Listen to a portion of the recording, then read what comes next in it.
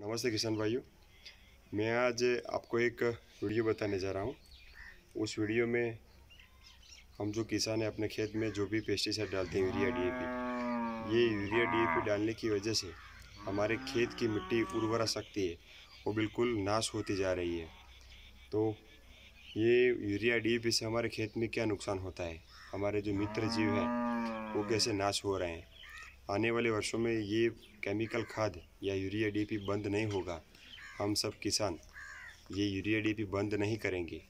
तो आने वाले थोड़े ही वर्षों में भारत की पूरी मिट्टी उसकी जो उर्वरा शक्ति है वो सारी खत्म हो जाएगी। और उर्वर उर्वरा शक्ति जो खत्म हो जाएगी तो इस मिट्टी पर कुछ भी दाना बाहर मिट्टी के अंदर अंदर से बाहर नहीं निकलेगा। और ये यूरिया डीएपी की वजह से आज भारत में आ, असाध्य रोग जैसे कैंसर है डायबिटीज़ है ऐसे अन्य कई रोग होते हैं। तो जो भी किसान इस वीडियो को देख रहे हैं वो तो सारे किसान अपने खेत में कम से कम अपने परिवार के लिए खाने के लिए और हमारे जो भी आ, हमारे आसपास जो भी लोग हैं जो हमारे पास से जो खरीदी करते हैं खाने के लिए तो उनके लिए हम कम से कम जहर बिना जहर का आ, हमारे लिए और उनके लिए बिना जहर का जो भी उत्पाद है हम अपने खेत में तैयार करें। मैं आपको ये वीडियो बताने जा रहा हूँ। ये वीडियो से हमें ये सोचना चाहिए कि इस जहर की वजह से मिट्टी में रहने वाले सूक्ष्म जीव मर रहे हैं। उसी तरह आने वाले समय में हमारे परिवार में से हमारे बच्चे भी इसी तरह मरेंगे।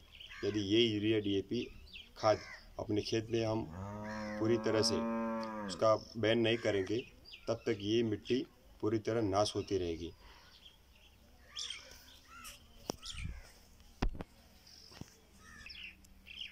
देखिए, ये पानी है और ये यूरिया डीएपी खाद है।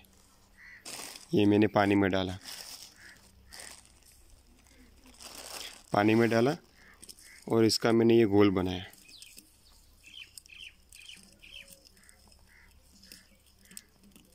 ये प्रयोग आप भी कर सकते हैं अपने खेत में। और अभी आप देख रहे हैं, मेरे खेत में, मैं वर्मी कंपोस्ट खाद बना रहा हूँ। ये वर्मी कंपोस्ट खाद के जो जो हमारे मित्र जीव केचुए हैं ये आप देख रहे हैं, ज़िंदा है। ठीक है? ये पानी में जब मैं डालूँगा तो उसकी, आप देखना।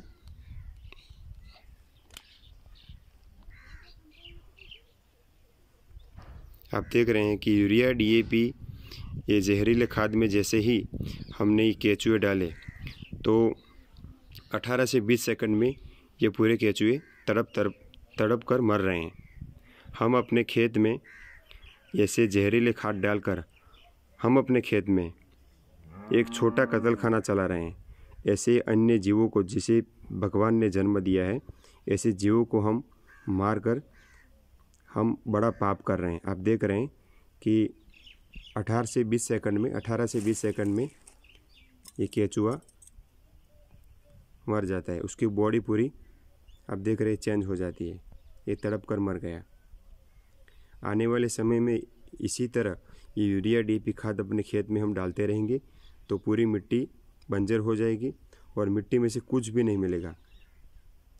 उसके, इसके ऑप्शन में हम अपने खेत में गौमूत्र जो है, जितनी बार भी हम पानी खेत में जाने देते हैं, उतनी बार हम गौमूत्र डालें।